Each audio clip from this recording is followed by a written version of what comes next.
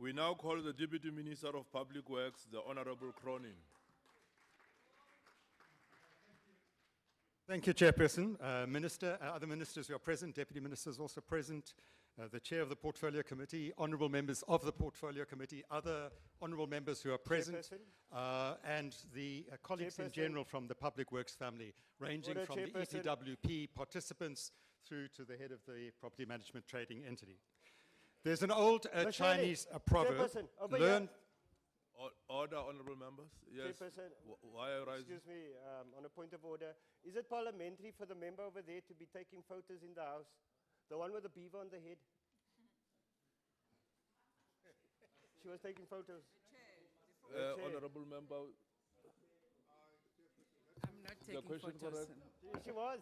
She lies also. order, or just, just hold on, honourable I'm not taking photos. Anymore. He said he's not taking photos, we'll take a word. Thank you very much. Keep, take your seat. Now is not, take your seat, honourable member. You may proceed. uh, thank you, Chairperson. Order, I hope that I will be given a minute. Order, order, sorry, Deputy Minister. Chairperson, the Uh, member must, honourable, honourable Adams. Chairperson, the member must withdraw. He's accusing another member of lying. He says he's lying. Um, Honorable Paulsen, can you respond to that? Have you said so? Have you said she's lying? No, no, no. I, am I'm speaking to you, Honorable Paulsen. What is your response? I saw her take photos and then she no, denied that, it, so that's... what- no, that is another Okay, I withdraw. She's lying. She's denying it. Okay, thank you very much. Take your seat for your withdrawal. Can you proceed, Honorable, Honorable Uh, thank you, Chairperson. There's an old uh, Chinese proverb which says, learn to cross the river by feeling the stones. In other words, difficult tasks are not necessarily best accomplished by simply rushing headlong into them. Learn from experience. So let's try and learn from experience going back to the beginnings of public works in the non-racial area, in the democratic area. In the first white paper of 1997, uh, in his foreword, the first post-apartheid minister, uh, Jeff, Comrade Jeff Radebe, began by saying, and I quote, since its establishment, the Department of Public Works has frequently been treated as a Cinderella department, narrowly confined to its tasks as state property manager and facility maintenance agent. Now, there are many features in the white paper of the 1997 that are still, I think, relevant and important. But it's also interesting to reflect back at how the minister and the administration at that time were framing the question, what is the Department of Public Works? Because it's quite obvious that back then in 1997, the role of being a state property manager was clearly seen as narrow, implicitly routine, and rather boring, making of DPW a Cinderella department. Since then, and many of the contributions have already made this point, we've come to appreciate much, much better the challenging and enormously strategic important role, both from a social, development, and economic perspective, of our core mandate as a Department of Public Works, as the leading custodian of the property portfolio of, uh, of the state's property portfolio, with over 93,000 buildings and some 29,000 land parcels. Two years after that white paper in 1999, Cabinet indeed approved, in principle, the creation of a state property agency. But unfortunately, and for several reasons, there was not much progress made. So when Minister Nxesi was first appointed as Minister of Public Works in late 2011, he found himself in a department which, quite frankly, was in a state of chaos, in free fall. Uh, there were repeated audit disclaimers, and it was also uh, mired in several very high profile corruption scandals, among them the Middestad building leased to the police in Pretoria, and of course the Nkandla matter. On arrival, the new minister, is no longer new, but when he was new, found two large files on his desk. The one was from the SIU, and the other was from the public protector. There was also a briefing note, I don't know if you remember this, uh, Minister, from the Minister of Finance, which called on the Department of Public Works to fulfill its mandate more effectively, noting one, that there was massive strategic instability in the department because of, in principle, because of a high turnover of DGs, of ministers, deputy ministers, and so on, as well as the non-existent of a complete asset register. We now have a complete immovable asset register, which is why, Honourable Fig, we can say, yes, there are X number of unused properties. Some years ago, we didn't even know that. So this has been an important part of the turnaround. The briefing of uh, the, the briefing from the Minister of, uh, uh, Minister of Finance at that time further observed quite correctly that all of this was both the product of and a facilitator for endemic corruption in- within the department. And so from early 2012, Minister Nxesi launched a major turnaround and subsequent stabilization program within the department. And this is a journey, a crossing of a river, if you like, undertaken, by the way, together with successive parliamentary portfolio committees. Because this is not just something we're doing on our own as the department. We are working with portfolio committees. I'm very pleased to see the Honourable uh, present, who was here in that process, and I think um, offered constructive criticism, but also acknowledged that pro- progress was being made.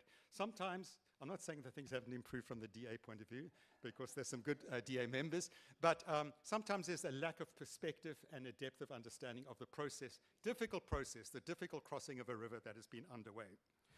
Um, so the Honourable Sitoli has also been with us uh, right through since uh, th- th- that, th- the previous, uh, previous Parliament, as well as important parliamentary staff. And one would like to acknowledge their engagement, their constructive criticism, um, and discussion and debate, which have contributed to this process of turnaround and stabilization.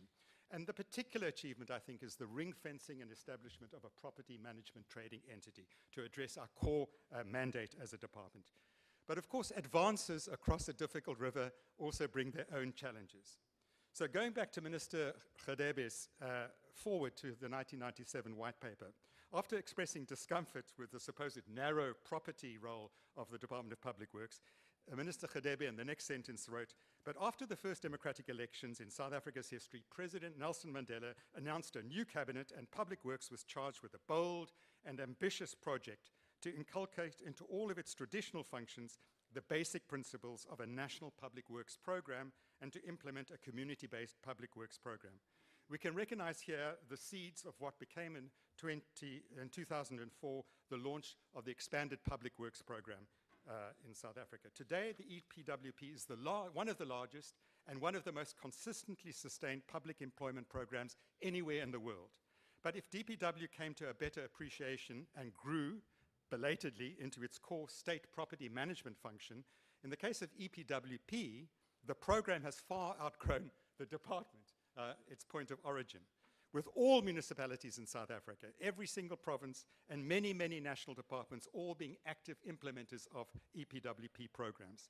This is a great success. Whatever the challenges there may, and there are, uh, it's a global pioneering contribution when the very future of work is under discussion in places like the International Labour Organization, uh, amidst growing job precariousness with the fourth industrial revolution and so forth. But there are two major symptoms of this great growth of the EPW and diversity of the EPWP, which members of the Portfolio Committee and the Auditor General have raised with us. The first relates to the accuracy, accuracy of reporting on work opportunities. It is a matter which has been raised also by the Auditor General with, with adverse findings over a couple of years now. Now, the basic position of the Department of Public Works is that our Director General, okay, can't possibly be the accounting officer for every single work opportunity scattered through all municipalities in South Africa, scattered through provinces and many different line departments.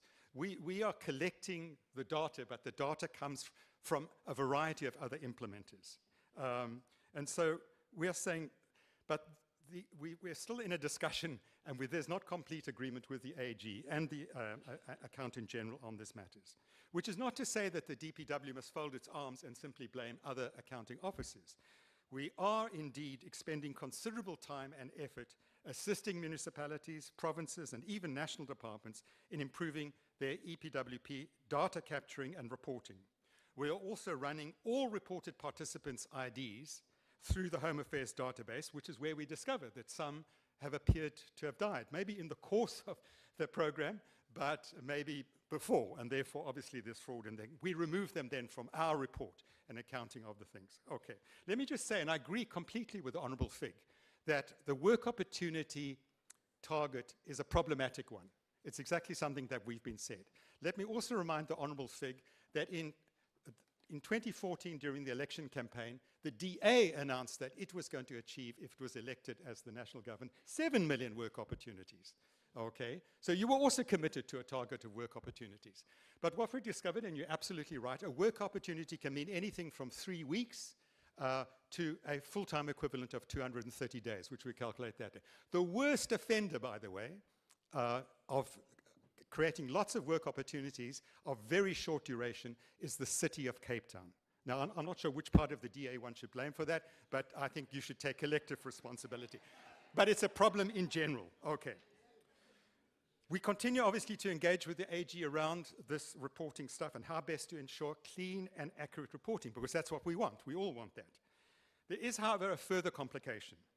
As the Minister has noted, a significant chunk of our medium-term budget allocation, some 7 billion rand, is earmarked for the EPWP incentive grant to municipalities and provinces. And there are three interrelated challenges that have begun to emerge with the incentive grant system. One, there's a growing tendency for the incentive grant to become the entire budget for EPWP programs rather than a top up, which is what it was intended to be. Secondly, in many municipalities, part of the incentive grant is dispersed to individual ward councillors. Okay. And this, in our view, is a grave risk and may account for the allegations and reality in many cases of abuse in the recruitment of participants. Let me make it absolutely clear as a department, we don't care if the ward councillor is ANC, IFP, DA, or whatever. It is fraudulent and corrupt to recruit people on the basis of party membership, on the, on the, on, on, on the basis of affiliation to this or that faction or whatever. And the third issue, and we've issued recruitment guidelines to this effect, and we, we to the best of our ability, seek to involve, because it's, it's a reputational risk to a wonderful program saluted around the world by the International Labour Organization and everywhere else. Okay. Right. Finally, let me say a few words about the highly topical issue of expropriation and the expropriation bill. I see that the co-chair of the uh, Constitutional Review Committee is present, which is great because we intend engaging still have five actively with them. How many? You still have five minutes to Okay, so I don't have to be to so quick. Okay, so I can take my time. That's good. Okay. So there has been compensation. I'm glad. Although my time was expropriated, I have got some compensation. I'm pleased. Now, first of all, the bill is no longer with the department, okay? Uh, it's with Parliament, uh, not with us. But as the original submitters of the bill, we remain very interested and engaged with this issue. And members will remember that after a successful passage um, through the National Assembly in 2016, the bill went to the National Council of Provinces. Unfortunately, in our view, the National Council of Provinces hearings were unduly hurried and vulnerable to a constitutional challenge. And uh, when, when consulted by the president, uh, uh, the former president, Minister Nxesi, on our advice, said that it would be better to resubmit it uh, back to Parliament rather than end up in, in the Constitutional Court with a long, prolonged challenge.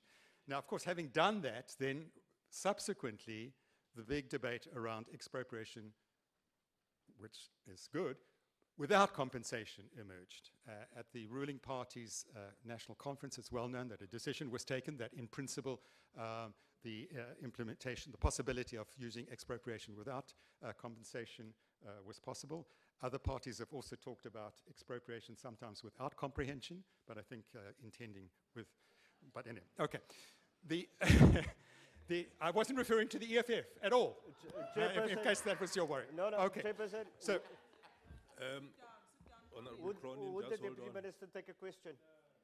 Uh, are you Okay, maybe at the end. I think I might have some time, but I'd like to complete what I'm trying to say. But if it's possible, then take that your would be good.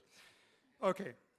Now, there, there was the ANC conference, and then, of, of course, here in the National Assembly, um, with at least two parties, I think three parties or ma- and maybe more, supported a resolution which came from the EFF. Let's not get into that silly debate, but which was amended by the ANC. Uh, and the amended version was adopted, okay, to establish a constitutional review committee to recommend whether or not, okay, this is clear as well. The, the resolution didn't say the Constitution must be changed, it said it must investigate whether the Constitution needs amendment or not in order to empower the possibility of expropriating without uh, compensation. And the resolution went on to say, in a manner, this is our resolution, okay? in a manner that increases agricultural production, improves food security, and ensures that the land is returned to those from whom it was taken under colonialism and apartheid. Okay, that's part of the resolution. Important, and I agree with it. In the light of this resolution, it's useful then to remind ourselves of an often forgotten subclause in the property clause. And that's subclause 8, 25 subclause 8, okay, the property clause, which says no provision, okay, which obviously must surely include also the provision requiring that just and equitable compensation must be paid in cases of expropriation. No provision of this section, the property clause, may impede the state from taking legislative and other measures to achieve land, but not just land, water, and related reform in order to redress the results of past racial discrimination, provided that any departure from the provisions of this section is in accordance with the provisions of section 36.1. Okay, I'm sorry I'm getting a bit technical, but I think it's very important that we, we get on top of these things. Okay, so first of all, note that contrary what is often said um, or distorted i- i- from some quarters, the Bill of Rights and the property clause is a mandate for dramatic radical transformation. It's not a blockage to it. Okay. Now, 36.1, okay, which is the general limitation clause in the Bill of Rights, reads The rights in the Bill of Rights, for example, in this case, the right to just and equitable compensation, that right, may be limited, but only in terms of a law of general application to the extent that the limitation, one minute, okay, is reasonable and justifiable in an open and democratic society. Okay, so as advocate Tembeka Ngcukaitobi has so eloquently argued, there would appear to be absolutely no impediment within the Constitution as it stands for it, for it to be possible to expropriate justly and equitably without compensation in certain cases, provided these are clearly defined within the law of general application. And in my view, the, the expropriation bill currently parked with this portfolio committee and the NCOP could serve with some adjustments precisely as such a law of general application. However, let's not preempt the work of the Constitutional Review Committee. I do, however, want to urge, in line with President Ramaphosa's responses in the National Assembly last week, that regardless of our political affiliations, that we engage with this absolutely critical but emotive land debate in a rational and constructive way. Let, not, let none of us be in denial about the terrible legacy of colonial and apartheid dispossession of the black majority. Thank- not thank just the indigenous black majority, but those who are the descendants who came as slaves, who came as indentured laborers, because that you, often Deputy gets Minister. forgotten in the thing. So we urge rationality and but a common commitment, and Your as Public Works, we have an important role to play. Sorry, I can't ask you a question. I'm getting cut by this. Thank you very Without much.